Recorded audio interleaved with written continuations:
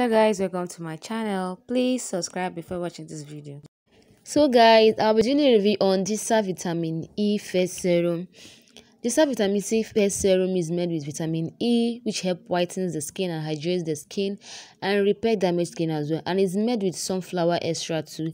It contains sunflower oil which helps in maintaining a healthy skin so this this vitamin e is actually for all skin type guys. No matter the kind of skin you have sensitive normal skin combination oil any kind of skin type actually it works just fine on it.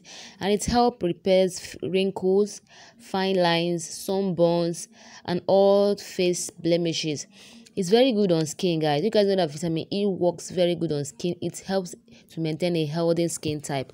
This face serum is very, very nice and effective and it's non-toxic. It's for all skin type as well. It's very, very nice and effective.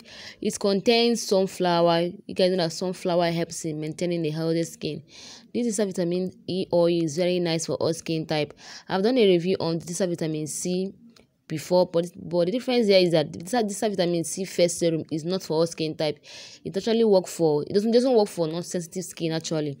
So this one right here this, this vitamin e oil sorry face serum is for all skin type and it clears wrinkles.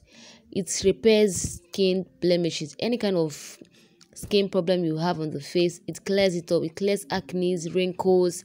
It rejuvenates the skin. It repairs the skin. This face serum is just for face repairing. It repairs the face and it brightens the face too.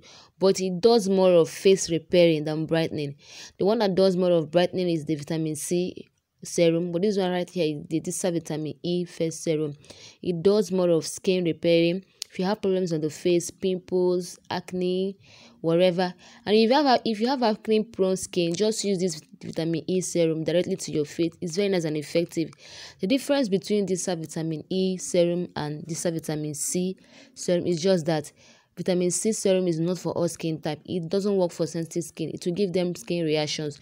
So this one right here is a moisturizing serum it reduces spots, it clears wrinkles, it clears sunburns, dark circles, and fine lines too. It's very nice and effective for all skin type, guys. It's very nice. This Disaar product is being tested and trusted. I've been using the, all their products, and I think this Disaar vitamin E is actually for all skin type.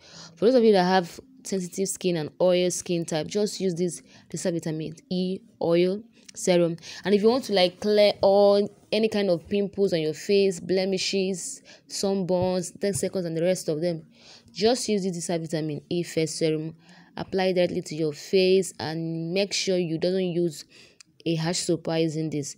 So that's my honest review on this. Thank you guys for watching